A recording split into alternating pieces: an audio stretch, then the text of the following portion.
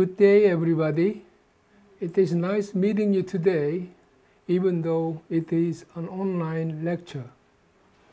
My presentation's title for today is the case studies of Korean shipping policies, meaning maritime transportation policies. Let me introduce myself briefly.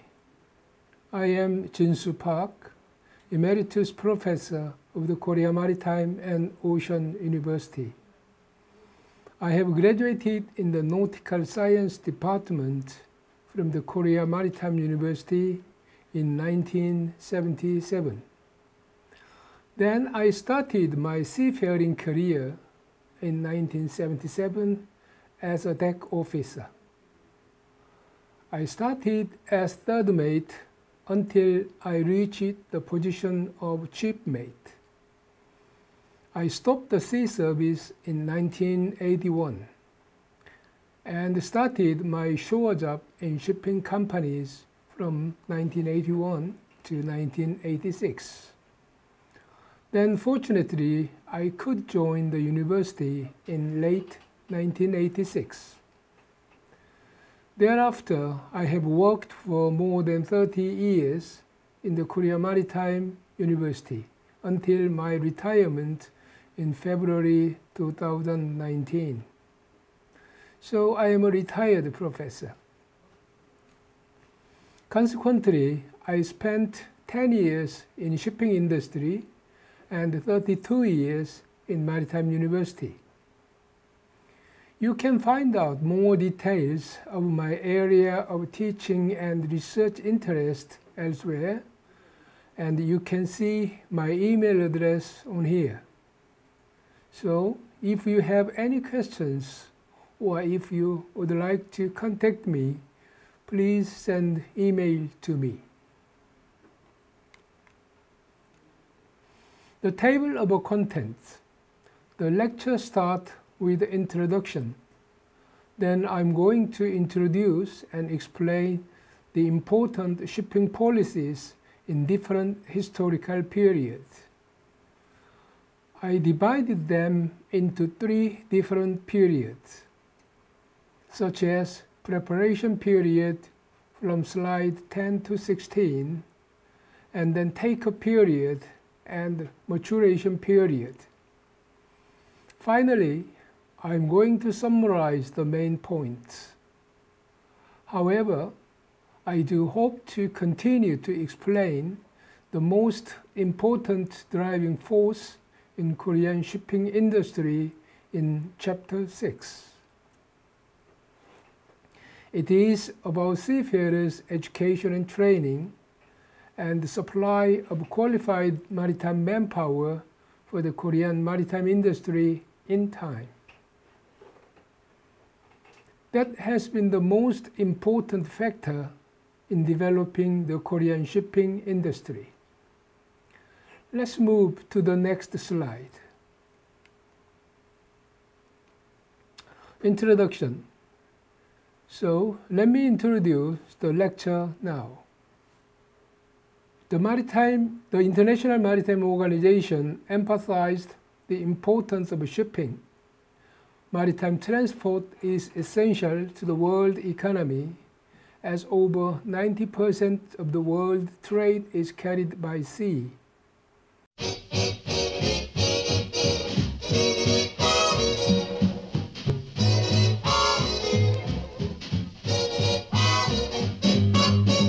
The Port of Baltimore, Maryland is home to an impressive group of historic vessels, ranging in size, type, and purpose.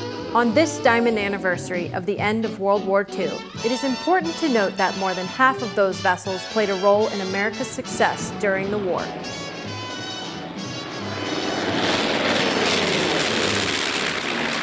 One in particular, Liberty ship SS John W. Brown, sits at Pier 13 just around the corner from Fort McHenry. Thousands of Liberty ships were built as a solution to a major logistical problem during the war. These ugly ducklings, as they are often affectionately referred to, were crewed by U.S. merchant mariners and delivered much needed munitions, equipment, cargo, and troops to Americans and allies overseas. Today, she is one of only two Liberty ships left operating from World War II.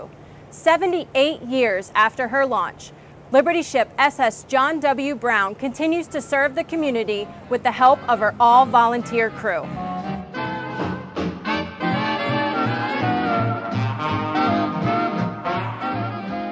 Hi, I'm Captain Elena Bassiano, and I've been a volunteer aboard SS John W. Brown since I was just 10 years old. After sailing aboard Liberty ships during the war, my grandfather introduced my older sister and me to the Brown, and the rest, as they say, is history. Not unlike many of our other younger volunteers, John W. Brown influenced and prepared me for a life at sea.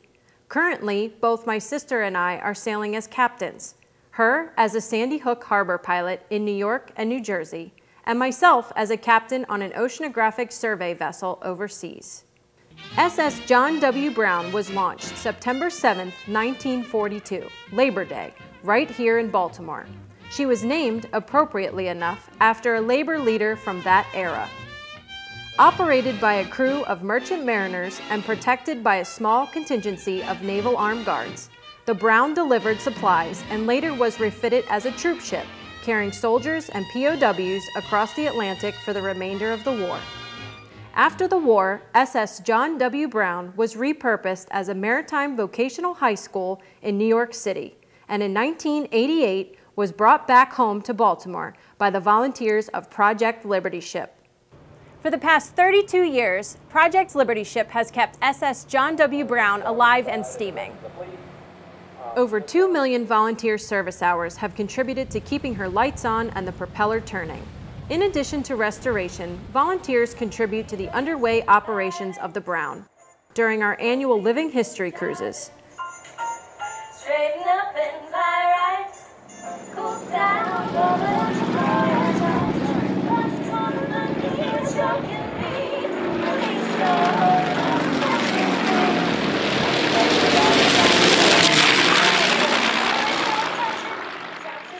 Shipyard repair periods,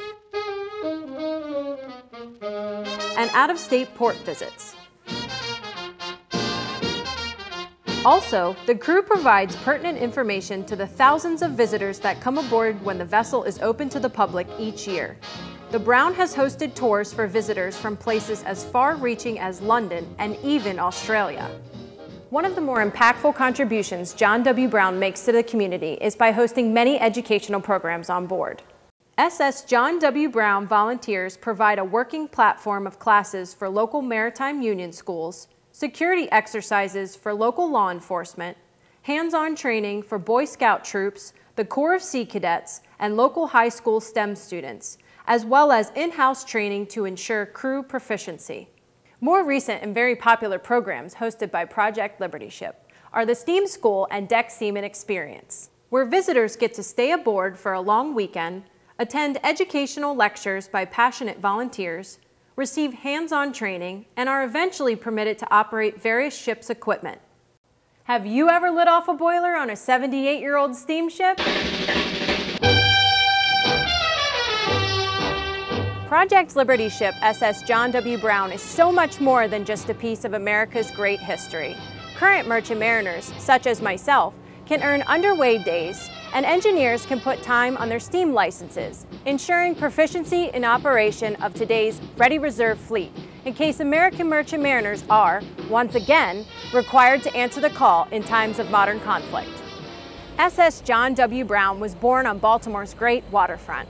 She continues to operate today with the help of state and federal grants, profits from educational and social events, and most importantly, because of generous donations made from people just like you.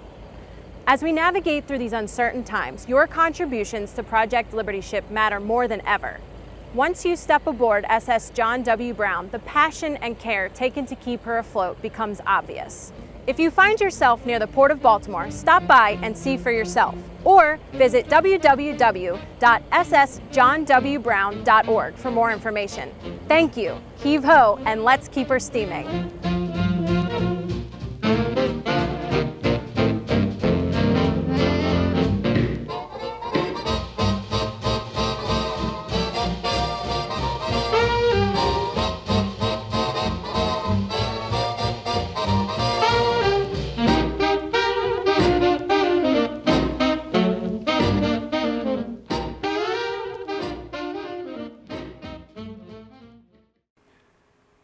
It is by far the most cost-effective way to move an en masse goods and raw materials around the world. Right. The International Maritime Organization emphasized the most importance of shipping. Maritime transport is essential to the world economy, as over 90% of the world trade is carried by sea, and it is by far the most cost-effective way to move en masse goods and raw materials around the world. Please watch a short video clip to explain what is shipping. You can see the three key elements of shipping in this slide. First of all, the ship or vessel is the fundamental hardware which must be secured to run the shipping business. The second factor will require skilled and well-trained manpower.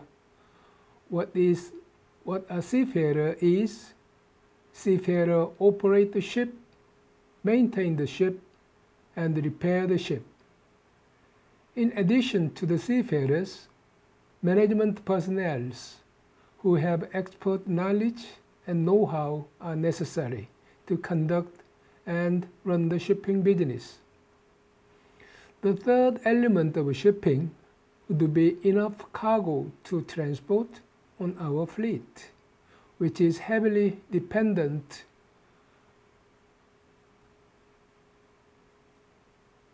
on the market condition and the national and global economy. I think those three factors are the key factors to develop and expand the shipping industry.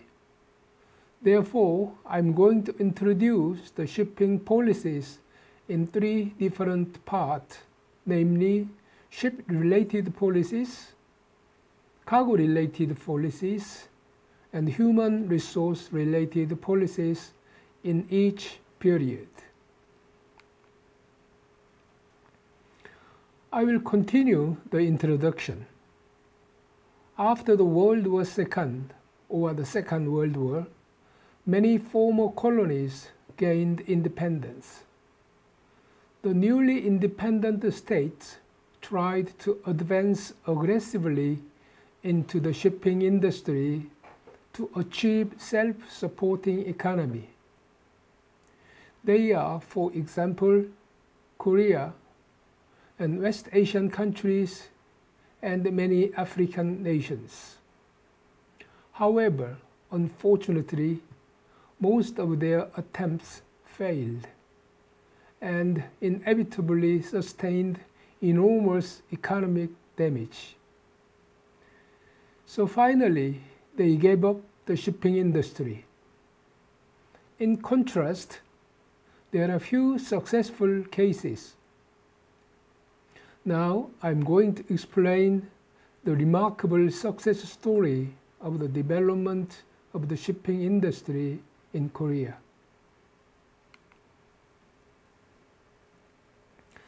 The developmental steps of Korean shipping, I divided the development of Korean shipping in three different periods. First, preparation period during 1945 to the end of 1960s for 15 years. Nothing remains in Korean Peninsula to start the shipping business after the World War II and the Japanese controlled period. And to make matters worse, they went through three years long Korean War in 1950 to 1953. But it was important time to lay out the foundation for the shipping industry.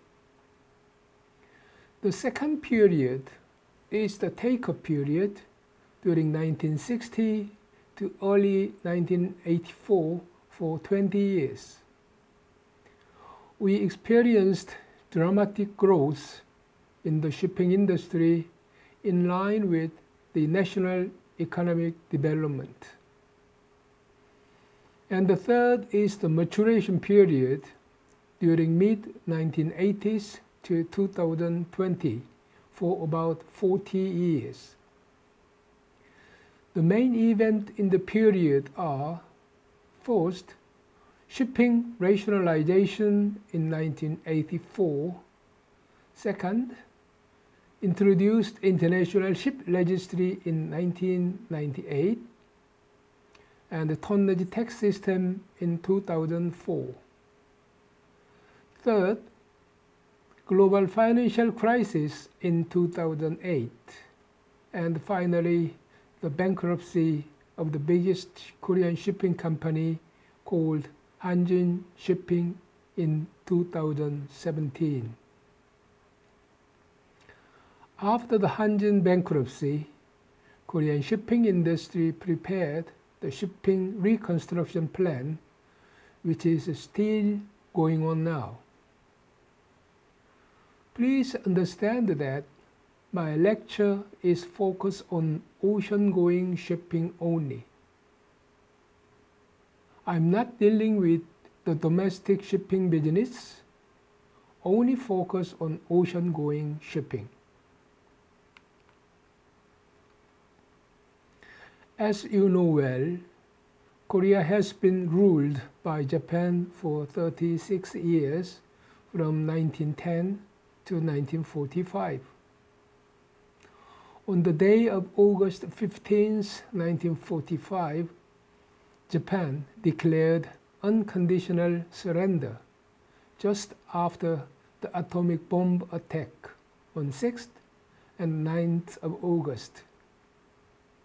Therefore, Korea celebrates the 15th of August as National Independence Day. After, in, after independence was gained, the US military government ruled and supported the Korea to establish their own government. And finally, Korean government was founded on 15th August of 1948, just three years after the independence. In 1945, when Korea was independent from Japan, they had only three small ocean-going ships of 5,582 gross tons. That is the motor vessel. However, they have 1,641 ships of 86 million deadweight tons as of January 2021, which is the world top 10 shipping nation. The statistic is from the UNCTAD Review of Maritime Transport. The statistical data count the propelled seagoing vessels of 1,000 gross ton and above. Let's see the important policies to develop Korea shipping industry in each steps. Let's start with the first step, which is the preparation period during 1945 to 1959 for about 15 years. Preparation period, which is the first step. A few ships remained from Japan when we were independent. And the US government granted lease of some wartime standard ships. They called it Liberty Ship and Victory Ship. I'm going to explain more about the wartime standard ship in the next slide. However, we had no national capital fund to purchase the ships. Some shipbuilding facilities remained, but no shipbuilding materials, no skilled and trained personnel to design and construct a ship, no technology and no skills at all. It means it was very difficult to build ships in Korean shipyard. In August 15, 1948, the Korean government was founded. On January 1950, we have established the Korean Shipbuilding Corporation, which was a state-run shipyard in Busan. Just a few months later, after the establishment of the KSC, Korea Shipbuilding Corporation, the Korean War broke out. And the, and the war continued for three years until July 1953.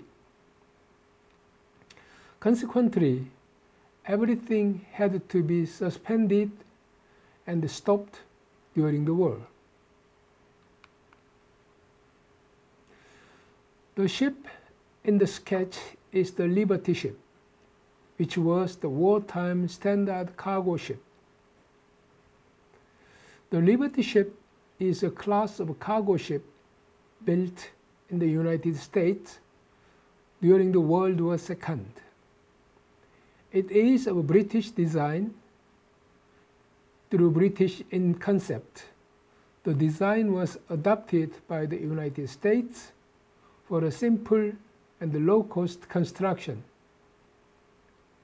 You see, 18, 18 American shipyards built 2,710 ships between 1941 and 1945. Can you imagine that? Three ships were built every two days. Three ships in every two days. We can say that this is the largest number of ships ever produced for a single design. More than 2,400 Liberty ships survived the war. Of course, of these, 835 made up the post-war cargo fleet. A Greek entrepreneur bought 526 ships and Italians bought 98 ships. Besides that, the shipping magnate, including John Fredriksen, Aristotle, Aristotle Onassis, Stavros Niarchos, and etc. bought 33 ships. And many of the families were known to have started their fleet by buying Liberty ships. The term Liberty-sized cargo for 10,000 long tons, which is 10,200 tons, may still be heard in the shipping business. Let's move to another type of the wartime standard ship. It's called Victory ships, which are a class of cargo ship as well, and built in the United States to replace losses caused by German submarines. It had a more modern design, was slightly larger than the Liberty ships, the gross tonnage of 7,200. Length overall is 137.8 meters and dead weight was about 10,600 tons.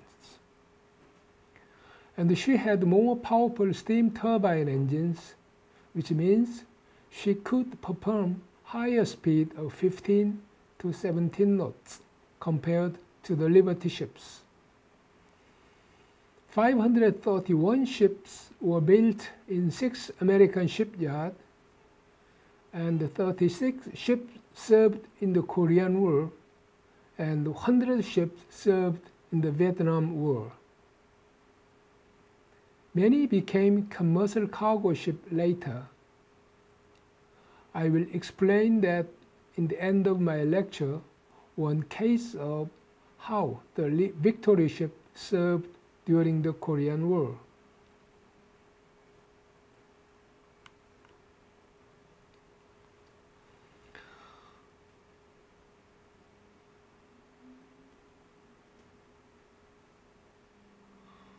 Steamship John W. Brown was built in 1942 and she is one of the two surviving fully operational Liberty ships preserved in Baltimore. Please watch her story and activities.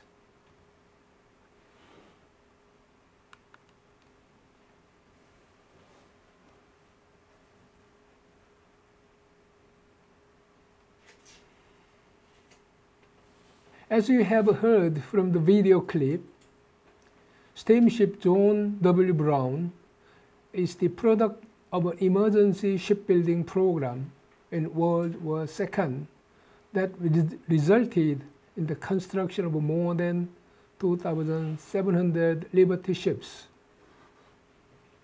Following her service in World War II, SS John W. Brown was loaned by the government to the Board of Education of the City of New York. From 1946 to 1983, she served as a floating maritime high school, training thousands of young men to be merchant mariners. Some of those former students have found their way back to the ship and now serve as volunteer crew members.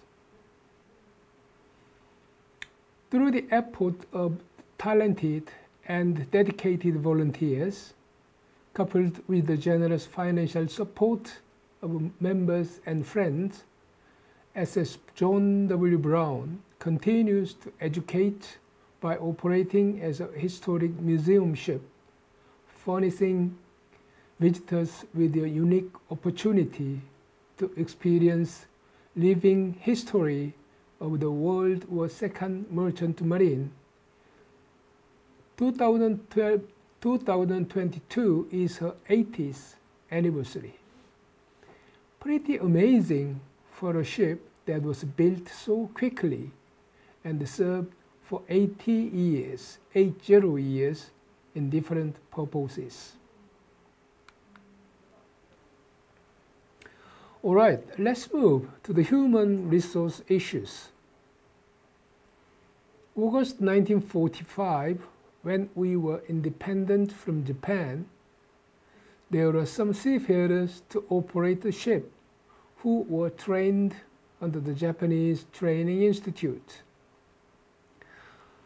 But they simply were not enough qualified people to perform ship operations. Therefore, a group of pioneers in shipping tried to establish the Maritime College in 1945, immediately after the independence.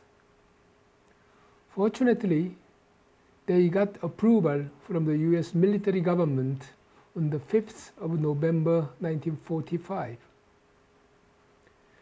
They educated and trained the seafarers first even though there were only three ships left in the Korean peninsula. However, again, there were no management expert to run the shipping business. So the group of pioneers in shipping established a national shipping company called Korea Shipping Corporation in January 1950 to train the shipping management human resources for the Korean shipping. However, just a few months later, the Korean War broke out and consequently everything had to be suspended and stopped again.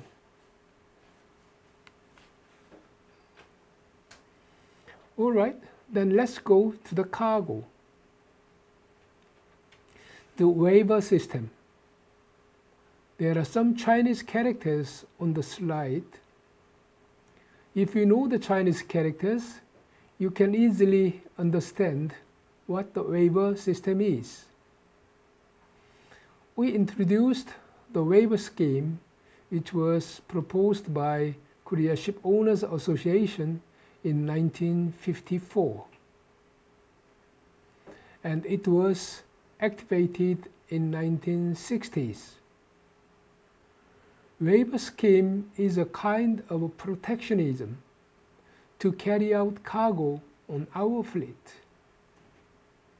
Other similar schemes are cargo preference system in United States of America, cargo reservation for national fleet, and, and, and etc. Meantime, the Korea Ship Owners Association was founded in 1954 in spite of the Korean War. Okay, that was the preparation period of the Korean shipping industry for about 15 years. Now, let's move to the takeoff period during 1960 to early 1984, about 20 years of time. There are too many events in the early 1960s in Korea. The student demonstration in 1960 led the transfer of the political power to democratic group. However, we have had a military coup one year later in 1961 and the change of a government regime. For your reference, the per capita GNI was only 83 US dollars in 1961 when the military coup was broken. Yes, so it was consolation, consolation in sadness that the military leader has a strong conviction for economic development and the national well-being. The new government made a strong economic development plan, which is a five-year plan starting in 1962. Four times, four times of economic development plan was implemented until 1981. The first EDP is the, stands for Economic Development Plan, was focused on the promotion of key and basic industries. Whereas the second Economic Development Plan focused on food self-support and export promotion. Heavy industries and chemical industries are emphasized during the third Economic Development Plan in 1972 to 1976. And the self-sustaining economy is the final goal in the first Economic Development Plan. In 1968, the Korea Shipping Corporation was privatized for more efficient operation of Korean shipping industry. On the government side, we have had a separate maritime administration under the Ministry of Transport in 1976. The Korea Maritime and Port Administration has played a crucial role for the development of the Korea maritime industry. You will see the rapid growth of Korean shipping in this slide and in this table. Please look at this slide, which is a comprehensive table at a glance. You can find out how fast they have grown in 20 years of time during the four times of economic development plans from 1962 to 1981. In other words, you can see the whole story of the growth of Korean shipping. We had only 41 ships, about 100,000 gross tons, at the beginning of the first economic development plan in 1962. It was nearly doubled at the end of the first economic development plan in 1966. However, we made, we made a significant growth during the third and fourth economic development plan from 1972 to 1981. In terms of number of ships, it has grown 13.5 times, but 61 times in terms of gross tonnage. Undoubtedly, it is an extraordinary growth of wonder in such a short period. During 1960 to 1968, national and private shipping coexisted. There was only one national shipping company called KSC, stands for Korea Shipping Corporation, when we began the shipping in 1950s.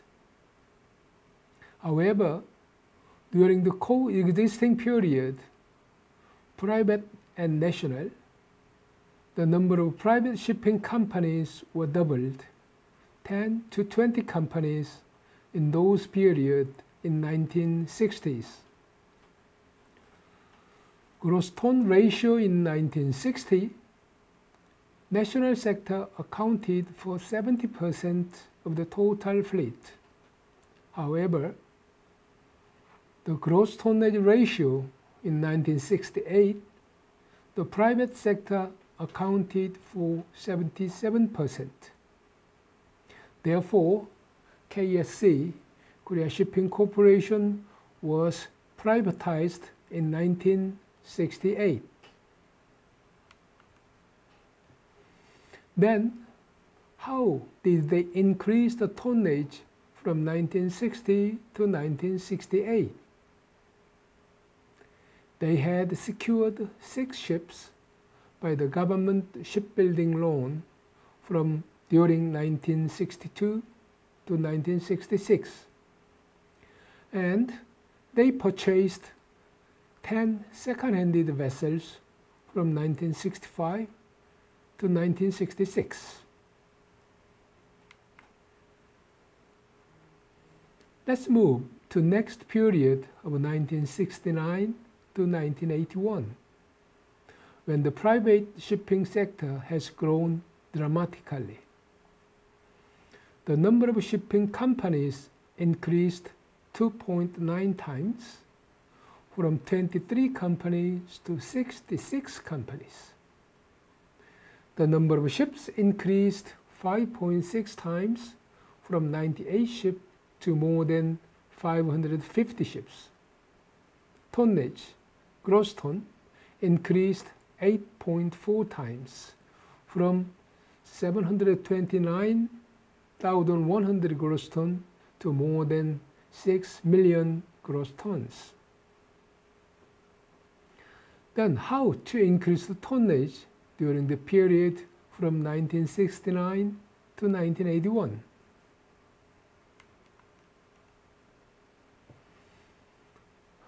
They have secured 66 ships by the planned shipbuilding scheme during 1975 to 1981 and secured 967 ships through the BBC HP during 1970 to 1981.